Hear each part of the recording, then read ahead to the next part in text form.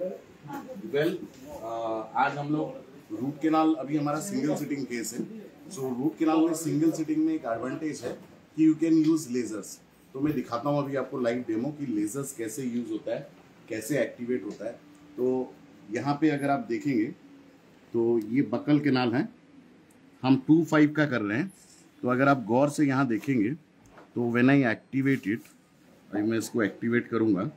तो आप जो लेज़र का जो बीम है you can easily appreciate it from here buccally अगर आप अच्छे से देखें तो you can see the activation यहाँ तक रूट है, यहाँ पे रूट है। तो ये रूट के एंड तक जाके, वहाँ पे ये एक्टिवेशन हो रहा है।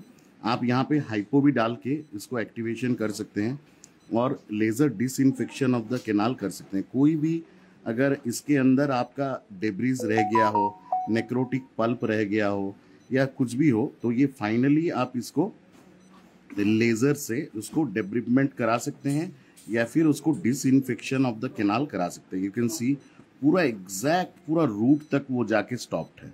आप स्टॉपर लगा सकते हैं यहाँ पे 17 M M eighteen M M twenty M जो भी लेंथ है आपका, वहाँ तक जाके you can easily do it you can see the light in the buccal क्योंकि मैग्जिलरी में अच्छा दिखता है, क्योंकि the maxillary bone is porous और बक्कल साइड में the buccal plate is thinner तो इसीलिए आप इस लाइट को अप्रिशिएट कर पा रहे हैं।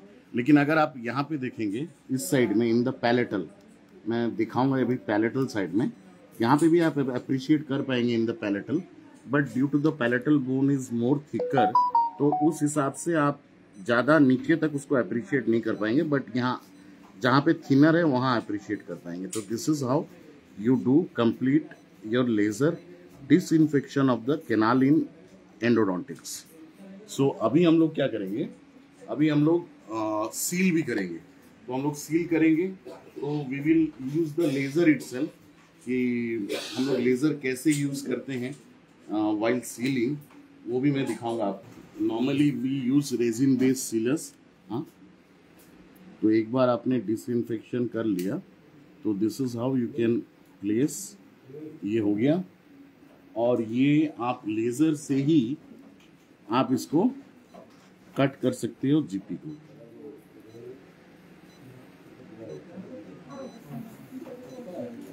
परफेक्टली तो एडवांटेज बहुत है। आप बॉल बनीचर ये वो गर्म करने का ज़रूरत नहीं है। आप लेज़र से डिसइंफेक्शन भी कर सकते हो लेज़र पल्पोटोमी वगैरह भी कर सकते हो हाँ। तो ये आप इसको आराम से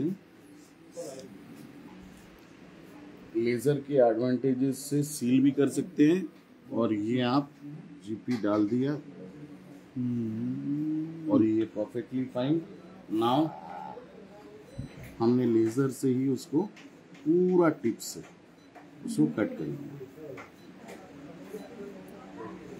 कुछ मतलब दो दो मिनट में आपका सारा काम हो गया। तो लेज़र इज़ क्लियरली एडवांटेज और अगर आप एक्सरे देखेंगे I take the X-ray to show you I'll just take the X-ray to show you.